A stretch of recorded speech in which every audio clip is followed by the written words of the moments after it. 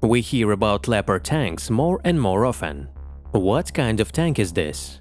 How does it differ from other NATO vehicles? What is it compared to Russian tanks, and how can it affect the course of hostilities? You came here for these answers, didn't you? Let's figure it out. The German tank farm recovered for almost a decade after the Second World War, until it was necessary to create tanks for the NATO bloc that could withstand the Soviet monsters. This is how the Leopard 1 tank appeared, which opened the era of new European tanks. Previously, American tanks were in service. NATO didn't have the opportunity to produce combat vehicles in the same volumes as the USSR, so instead of quantity, they focused on quality. The new Leopard 2 tank was a logical development of tank construction, which sought to achieve qualitative superiority over Soviet tanks. Further, we will not describe the entire history of development, it would take much longer, but we will identify the main modifications that may be in Ukraine. All modifications have the letter A and a number that indicates the Leopard 2 generation. Leopard 2 A4 the previous modifications are not very remarkable, but the A4 received a lot of positive feedback, and in comparison with the M1A1 Abrams, it was almost in no way inferior in combat characteristics. Modification was made in 1985-1987. The maintainability and efficiency of the diesel gave many advantages over the Abrams with the gas turbine engine. Now the tank needed to be unified as much as possible, according to the standards of the NATO bloc a fully digitalized fire control system was introduced, which allowed the use of new types of American ammunition. The forehead of the tower was also seriously protected. The tank was widely equipped not only by NATO countries, but also by many others. Many variants based on A4 fully meet the requirements of modern warfare. The base itself, of course, is outdated and doesn't really meet the standards of security and survival, so they are replaced with new machines. As a result, today the Leopard 2 A4 is widespread in the world. This means that Ukraine's allies would be able to accumulate an impressive fleet of such machines in the future.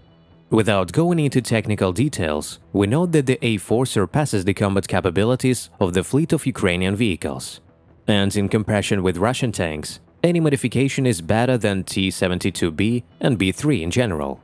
The superiority of Leopards, first of all, concerns communication and navigation systems, the quality and range of thermal imagers, the perfection and speed of the fire control system.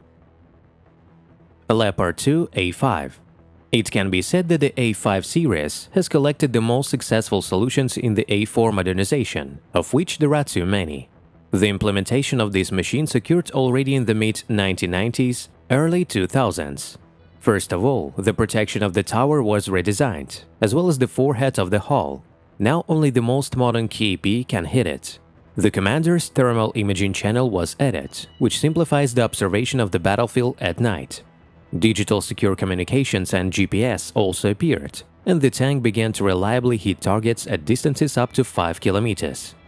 It was a serious competitor to Russian tanks in combat capabilities and to the main competitor in NATO, the M1A2 Abrams in cheapness.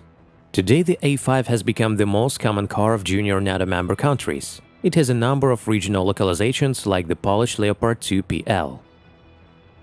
Leopard 2 A6 It was this model that Berlin promised to transfer to Ukraine on January 25, in small quantities so far. The Leopard 2 A6 combines lethality and efficiency. The first models were delivered to the troops in March 2001 Armor protection is similar to A5. The main armament of the upgraded vehicle is a new 120mm smoothbore tank gun L55 with an elongated 1.3 meters barrel. Its ammunition includes projectiles with a high initial velocity, respectively, improved shooting accuracy and increased armor penetration. It can also fire any standard 120mm ammunition, which has accumulated quite a lot in NATO warehouses.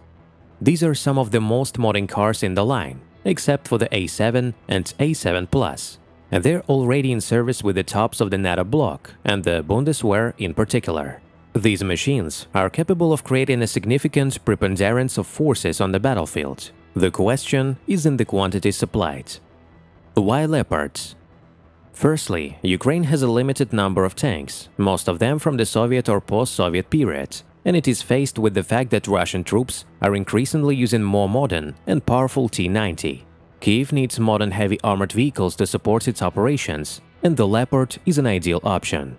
Secondly, the main advantage of Leopard 2 is the quantity that could be shipped and the relative ease of maintenance and logistics. Spare parts and know-how are located in Europe, so it would be easier to train Ukrainians. Thirdly, the Leopard 2 is a fairly practical car in comparison with the Abrams. Mainly due to a diesel engine, not a gas turbine engine, it is much easier to train repair units and crews for repair maintenance. Ukraine has suggested that it needs 300 tanks, while Western analysts have suggested that 100 could probably change the balance of the war. Thank you for watching the video to the end, like it if you enjoyed, it and also do not forget to subscribe to the channel so as not to miss the next issue.